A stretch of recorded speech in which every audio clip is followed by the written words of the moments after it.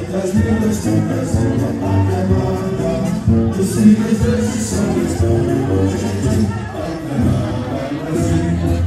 Na noite desta segunda-feira, 18, a bola rolou nas areias de Santo Amaro, na abertura da primeira Copa dos Campeões de Beach Soccer masculino e a terceira Copa Batom de Beach Soccer feminino. As competições realizadas pela Prefeitura de Santo Amaro por meio da Secretaria Municipal de Educação e a Coordenação Municipal de Esportes. Promover o esporte, o lazer da comunidade e fortalecer mais a, a comunidade em relação ao esporte. Esse é o viés o viés também do esporte, que é capaz de mobilizar, trazer alegria para a população de Santo Amaro.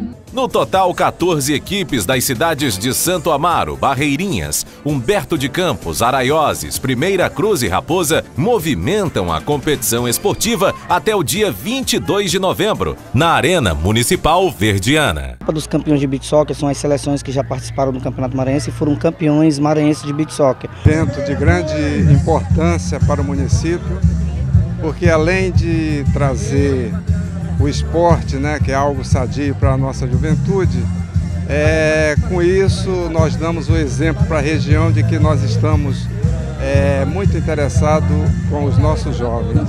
Nesta segunda-feira foram seis jogos nas duas competições. Os confrontos femininos, o GSA de roxo enfrentou o Esquadrão de Amarelo. A vitória foi do GSA por 2 a 0. Já o Asas de azul vermelho enfrentou o Valência de Humberto de Campos. A equipe do Valência venceu a partida por 4 a 1. Na categoria Beat Soccer masculino também foram três jogos.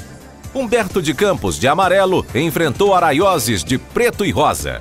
Araioses abriu o placar com Danilo. Andinha cobra pênalti, deixa tudo igual, 1 um a 1. Um.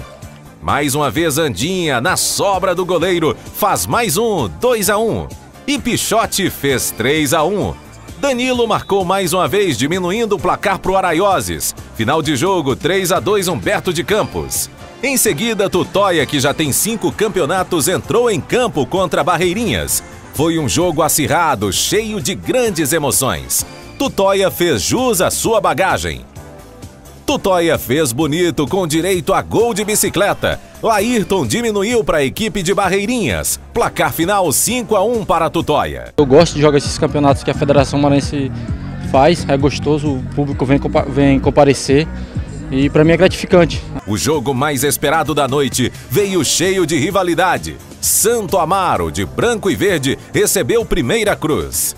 Primeira Cruz mostrou que estava com sede de vitória. Se é rivalidade, Santo Amaro não deixa barato e mostra aos adversários que a competição não será fácil. Até parece Flamengo e Vasco, né? E virou de novo com ele, alemão.